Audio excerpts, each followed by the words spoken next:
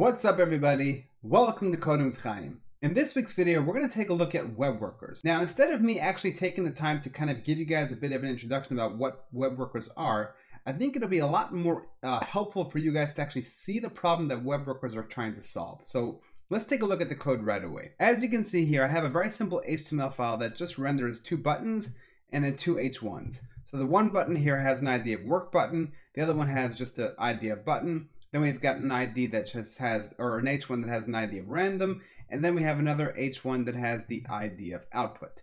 So let's see how this is getting used in our script. And so as you can see, what we have is we're pretty much, we have an event listener that's being attached to our work button, which is this work button right over here. And then what we're doing inside of this event listener, when somebody actually goes ahead and clicks on that button, we're pretty much setting off some sort of intense work. Of course, this is a very contrived example because you wouldn't really ever, ever have any real reason to kind of do this in a real life application but I'm just trying to illustrate something that happens when you're in a JavaScript application that's being run in the browser and what web workers are trying to solve. So what's happening here is we basically start off with a variable that's uh, called final. We initialize that to zero.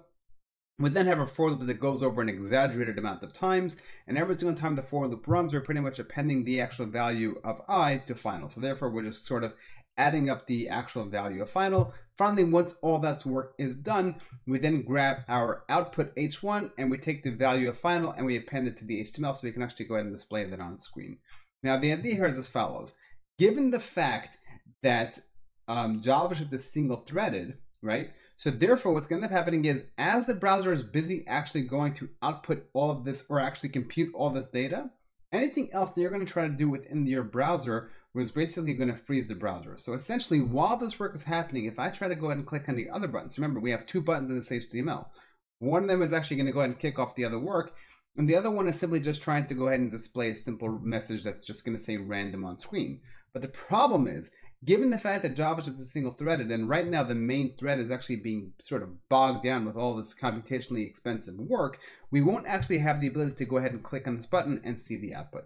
So let me demonstrate that right now. I've already got um, my little HTTP server running over here, so the app is already running. Let's go ahead into the browser and actually demonstrate the problem. Okay, so as you can see, we are now in the browser. Let me go ahead and kick off the work. I'm gonna go ahead and press on the click me button.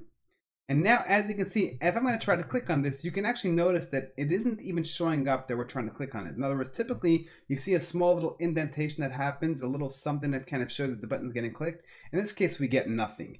Now, finally, once the actual work is done, we actually get the output of what final is equal to now. Now we actually get the value of random. And we actually see that the message of random is getting outputted.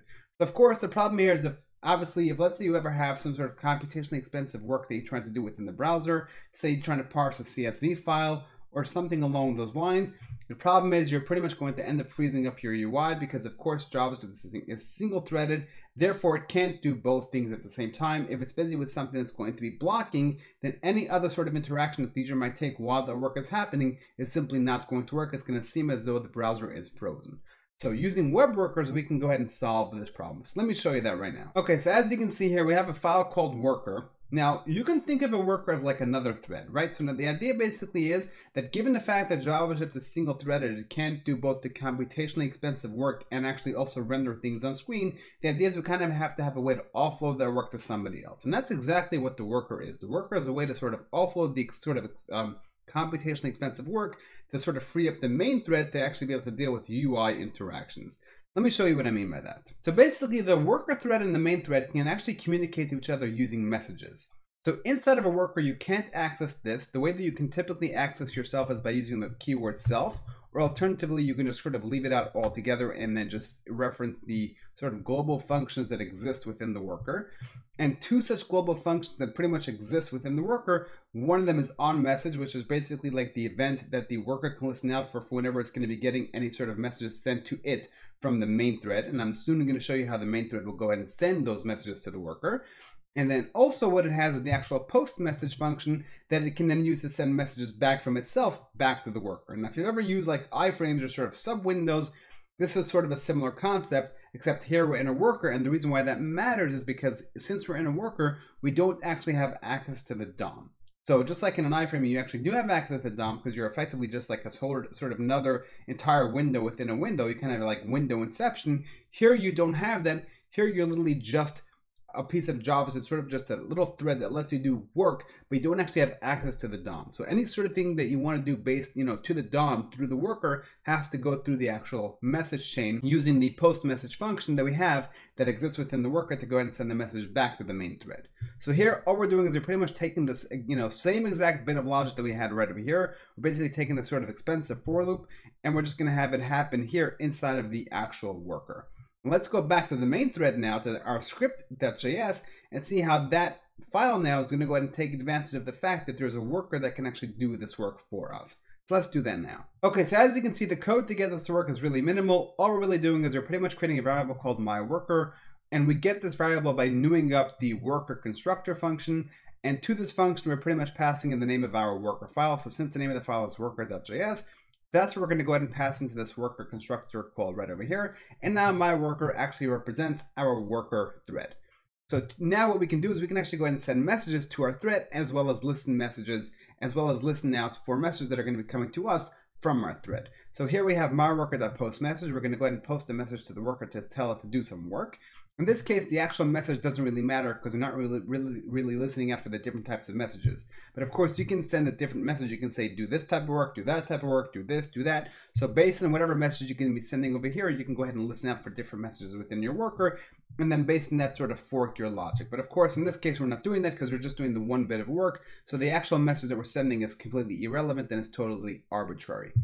So then basically um, at that point once we actually go ahead and tell the worker to do work now this event handler the one sort of we're listening after the on message event so now the event handler is going to go ahead and start running it's going to go ahead and do the for loop. Once that's done it's going to go ahead and post the final result back to the main thread.